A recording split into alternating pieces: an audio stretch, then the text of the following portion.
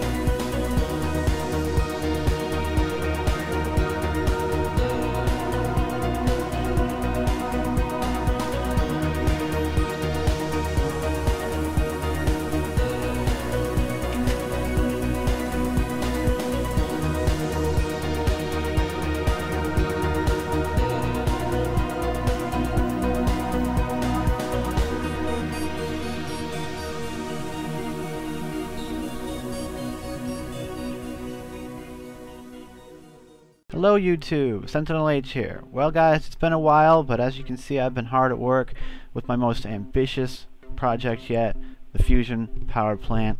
Hope you enjoyed the intro. Let's get straight into this. There's a lot to talk about. First of all, this is a fully functioning fusion power plant. It's uh, it's currently running and it does work. It does run infinitely. So the first thing we have here is the full carriage elevator. You might be able to hear those blocks being placed. This elevator utilizes the block breaker deployer method of adding frames to lower the carriage. Um, this is how you have to build it if you want the controls on the inside. You, as you can see I used uh, red red wire pneumatic pipes, whatever, um, to carry the signal through the walls of the carriage from these levers. And you cannot put covers over them or they won't work. So this is how you have to do it. This, as you can see, is quite a long elevator ride. It takes us all the way down almost to bedrock. That's why I, you know, cut it short in the, the intro. Here we are at level 11. And remember to flip these levers back up. And this will go all the way back up. It's a bit jerky on the way up because of the way that the frames interact with your body, but it's pretty smooth on the way down. So here we have plasma storage. I can't quite reach the tanks from the walkway, but each one of these tanks stores 3.2 million millibuckets of helium plasma. There's six of them, and if you multiply the numbers out, uh, if all six of these tanks six if all six of these tanks are completely full of helium plasma then this room will be storing 22 uh, billion uh, EU so a bit about this room. Um, I like the tank design with, uh, I like the shape of it, and these tin uh, columns I think add a bit of visual interest and depth. Um, inside of these are the pipes, the liquid ducts that transfer the helium plasma from the reactor uh, into the tanks. Uh, I put red lights on, yellow, red, yeah, yellow lights on them for, for helium plasma, that's the color it is, and um, I'll do a tutorial on how to do this conduit if you're interested in that. But uh, I quite like the shape of it. Uh, it uses um, triple panels and slab strips, and uh, then it's attached to the ceiling with these sort of iron collars. I think it, uh, it looks pretty neat. Um, here we have some lamps. Uh, these kind of like officey fluorescent lights. I like the look of them. I like how they came out. Um, I'm using glass covers on the uh, face of the lights to give it a bit of interest. And you'll never see it from the top normally, so that's not a problem there. And I like the, um, the look that this gives. This is basalt paver uh, covers and then marble uh, panel strips. You see the walls have these indents to give it a bit of interest since this is such a large room. You need to put something on. I can't just have big flat walls in this size of a room. Bit of lighting error down there. Um, the game doesn't quite like uh, some of the lighting and the way it interacts with microblocks. Um, this here is now one of my favorite ways of, uh, of lighting. I really, really like it. Um, what this is, in case you're wondering, is, is white lamps with uh, unmelting ice blocks in front of them and then uh, cover strips. The unmelting ice blocks uh, give it a really nice look. It's not so bright if the lamps were one block forward. I think it would be too bright up there. But the way that that uh, makes it look from down below, it's just it's casting a soft glow, and um, I really find that appealing. As you can see, if I fly down here, uh, we've got some scaffolds uh, holding up these uh, tanks, and so that we can have downspouts under them. So inside of these tin uh, microblocks are the uh, pipes that take the helium plasma to the generator room. Um, and they're controlled by uh, some wireless redstone. So you can decide whether or not you want uh, just these pipe uh, tanks being used, or just these tanks being used, or both of them, or if you just want to store plasma. So let's continue. Um, these doors, very simple, really. They're the automatic door I showed you in the tutorial. They just they just have teeth on them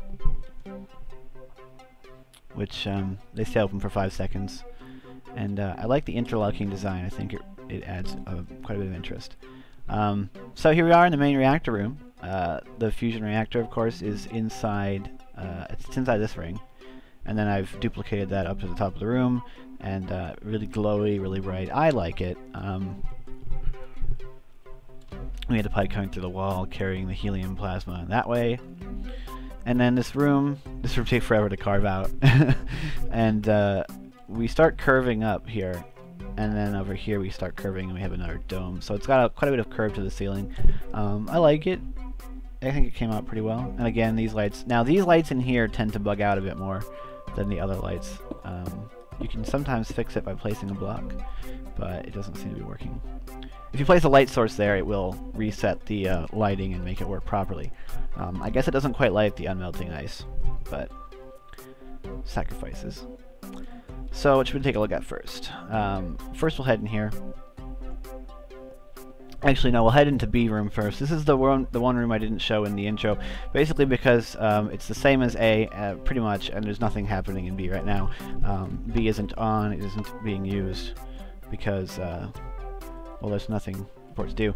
Um, room A is producing fuel for the fusion reactor using the deuterium tritium reaction, and room B is for is set up uh, for if you want to use the uh, the other reaction, the um, deuterium uh, helium 3 reaction, which uh, in I don't like that reaction. I don't like having to use a finite fuel source. Um, and in the unhinged pack, oh, this this is ultimate, uh, but in the unhinged pack now, you can't use the Tome of Alcahest to try and cheat your way to infinite uh, endstones. So um, I don't think that recipe is all that useful, but it is there.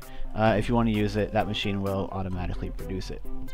So, let's go in here.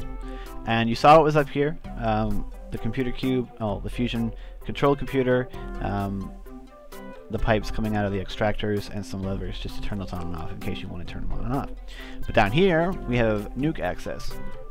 If we hit this button, we head down. And this elevator, I haven't built this before, but this is, I guess I would call this a floating platform elevator.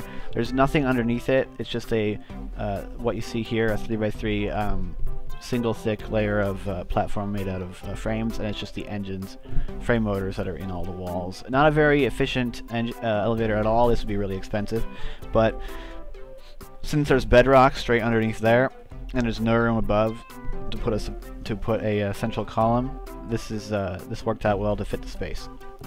So here we have the Fusion pre-igniter. Um, at least it was the idea. So this is an AESU. It's currently empty because it pumped all its in, uh, it sent all of its power through these uh, superconductor wires into the reactor. Because um, I imagine that using a nuclear reactor is probably the best way to provide the uh, startup power for a fusion reactor. And I got this design off of the uh, Greg, the IC2 forums, the GregTech reactors thread, but it doesn't work. This design is supposed to run infinitely, it says, but it doesn't. It overheat. It starts breaking down the components like immediately, and within like uh, a couple minutes, the components are red. So I don't know. Do I just not know how these work? Because I don't think these are supposed to turn red. Um, so if this would work, then you could use this to feed the reactor to get the reaction started. As it stood, um, I had to just use quantum reactors. But if you are better at building nuclear reactors, then just um, put in your own nuclear reactor down there, and uh, this facility is uh, will be fully functioning uh, if you download it. Let's close this. I won't be putting out a schematic for this um, because it's so it's so big and it's underground. So MC Edit would take ages to save it, and it would take ages to import it. Plus, there's so many microblocks in this thing that uh, they would just get completely screwed up, and it would be terrible and a terrible hassle to fix. So I want to briefly talk about this machine because I am going to make a tutorial about it, uh, whether you like it or not, because this machine took ages to put together and get working right, and I think it's really, really cool. Um, but this machine uh, completely automates the production of deuterium and tritium from water in a proper proportion to run the fusion reactor using uh, applied energistics, uh, factorization routers, and then of course the um, centrifuges, overclocked centrifuges, not overclocked centrifuges, and uh, electrolyzers, all with uh, three transformer upgrades in them. Uh, but again, I'll get into this in more detail in a, the next video. Um, if we go into the access port here, we currently have a, a, a big surplus of deuterium and a nice uh, healthy surplus of tritium. Um, getting the levels balanced on this is, is kind of tough, but it's, it is running properly. Um, it's keeping a, a good healthy amount of empty cells. Uh, if this number started getting really, really, really high, like if, if I ended up with several thousand deuterium cells, then you would have to like use them for something else and put the empty cells back in. But this has been running for hours now, and it, it's perfectly fine, so I don't uh, expect to have any real issues with it. So um, next video you see will be a tutorial on this device. It does require factorization, so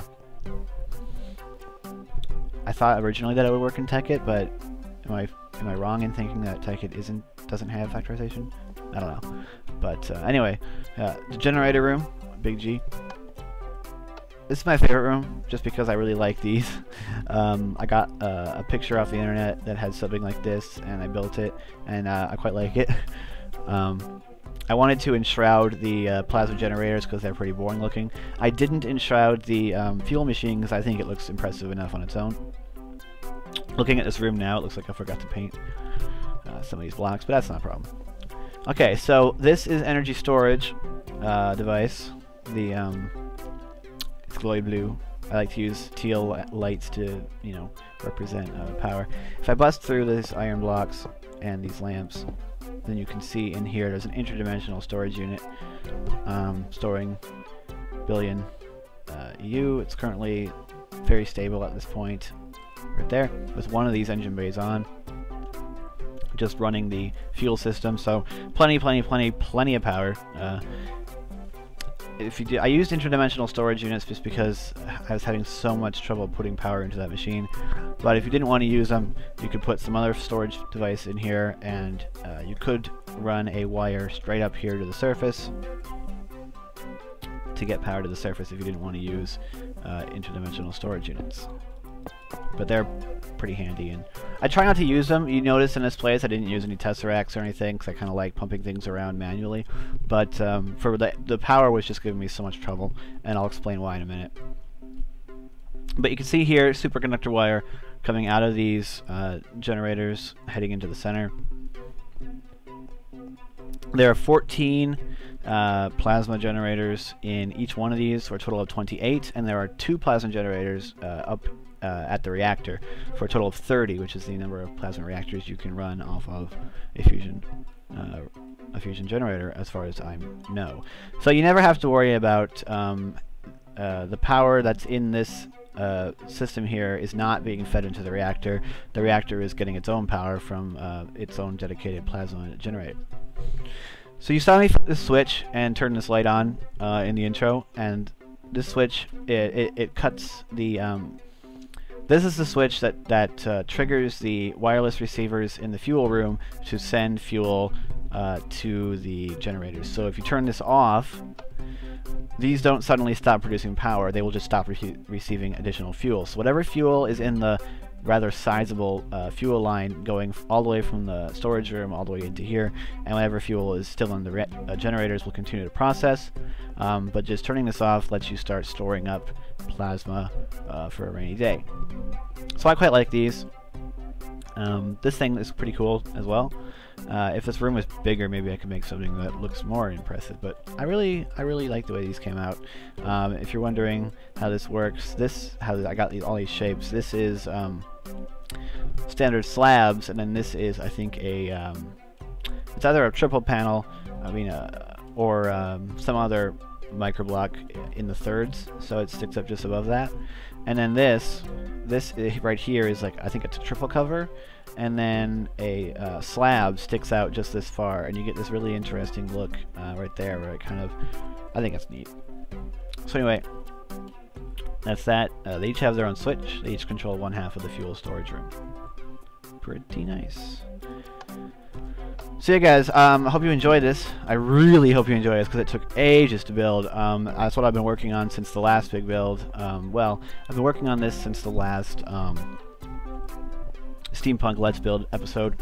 Uh, it's taken a long time just because it's so big and because it's so complex and getting the machinery to work was a real hassle but it works um, totally works uh, now so uh, go ahead and download this and use it for what you want it is built on a super flat world just like because it was the easiest way to do it um, my idea with this thing being underground is that you could very easily build a city or a factory on top of it and this would provide all your power and you wouldn't have to worry about uh, power generation up on the surface.